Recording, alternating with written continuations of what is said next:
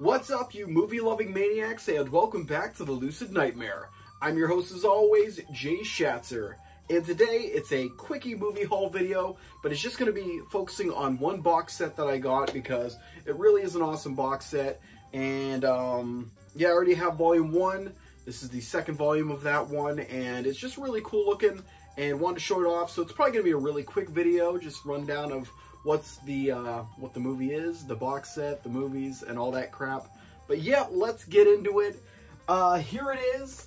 It is, and I couldn't resist picking it up. Um, I trying to scale back a little bit just because of the new house and everything, but um, had to get this one in the collection because Volume 1 was badass, and this one looks just as equally amazing. It is the Danza Macabra Volume 2. So right here, uh, great looking set.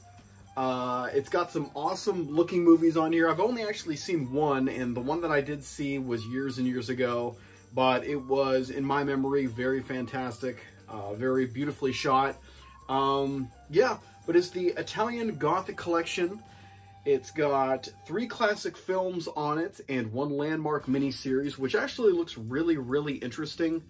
Uh, I think I'm actually going to sit down and check it out and see what I think of it. And if I really dig it, I might actually do a review on it. I've never really done a review on a mini series before, so that might be interesting to try out. But um, great looking set. You got the spine there with the movies. And then you got the uh, cover there was Roselba Neri right there looking fabulous. And you got the back with a little rundown of what it's all about. But the movies on here are Castle of Blood and the Italian version of that, Danza Macabra. Uh, Jekyll is the mini series from, I believe, 1969 is what it said. Uh, then they have They Have Changed Their Face, which is kind of a modern take on vampire lore, which sounds pretty interesting. And uh, last, The Devil's Lover. Uh, that's the one with Roselba Neri in it. And um, looks pretty interesting. Anything with, with her is really, really uh, engaging, to say the least. Um, but yeah, the the main pull of this box set, I believe, in my opinion, is the um, Castle of Blood with um, Barbara Steele. I think that's the main pull, uh, why you really want to get this set. Um, and that's the one that I've seen, but it was a long, long time ago, so I have vague memories of it, but I just really remember loving it. And it kind of sparked my love for Italian Gothic horror films. So I'm going to be revisiting that one, probably going to do a review on that one for sure. Um, but yeah, let's go through the individual films in here and kind of show off the cover work. But you got the uh, 4K Ultra HD and the Blu-ray on this one. It is of Castle of Blood. Really awesome cover right there. And the back there, a little right up. It's a beautifully shot black and white film from my memory. Really, really, really recommend it, even though I have vague memories of it. Uh, but up next is the mini series Jekyll. This is this is really intriguing to me. I want to check this one out. Uh, especially it's just a black and white, very strange kind of look into. It said the the evils of men or something like that. The it was just sounds pretty cool. Uh, but never even knew it existed until this set put it out. And then you have they have changed their face. Pretty interesting cover art there in the back. Definitely looks weird and trippy. And last but not least is the Devil's Lover. Roselba Neri. And that one looks pretty cool. I'm going to check that one out for sure. I'm probably going to take a lot of time and just sit down and watch a lot of the movies that I haven't really got a chance to check out. And uh, kind of put them on the list of what to review. Um, but I got more stuff coming. Um, I got a pile over here of newer things and older stuff that I'm going to do other videos for. Uh, but a lot of stuff I want to check out. I'm really kind of getting into just sitting down and absorbing everything and seeing what I can come up with. But yeah, this box set looks like a complete winner, as was the Volume 1.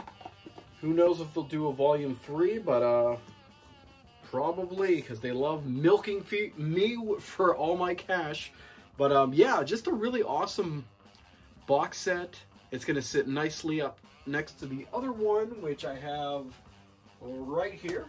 So, put it right over there, make some more room up there. But uh, yeah, cool set, and definitely looking forward to watching Castle of Blood again. Uh, that, that one's guaranteed to do a review on it, I think. And then um, the Jekyll mini series, I'm really going to check that one out to see if I should do kind of my first kind of review on a mini series to see what that's all about. And if anyone's ever, um, if anyone's got the set or have watched any of these ones, let me know what your favorites are on here, which ones you recommend I watch or do a review on. And um, yeah, and anything, I guess, just what what would you guys like me to do video reviews on? If you have any kind of interest of seeing what my uh, views are on something, uh, definitely recommend that in the comments below. Uh, I'm going to try to be more um, responsive, I guess, to it. Um, but the guy that, the, there was a guy that always recommended every video I put up. He recommended me watching the mini-series Creature. Um, I, I, I guess he just got I guess he finally gave up, but I mean, it went on for years, so maybe maybe I'll make a review of it and surprise him and see if he even notices. But um, yeah, if you guys have any recommendations, uh, definitely let me know. Um, see what I can do, see what I can squeeze in there. But um, yep, cool, cool box set, and it's gonna look great in the collection behind me. But guys, that is it for today. Hope you enjoyed that one, and I hope you like what I'm doing here. If you do, please like and subscribe, and if you have time, leave a comment below because I love hearing from you guys. But until then, I will see you all at the next Lucid Nightmare. See ya!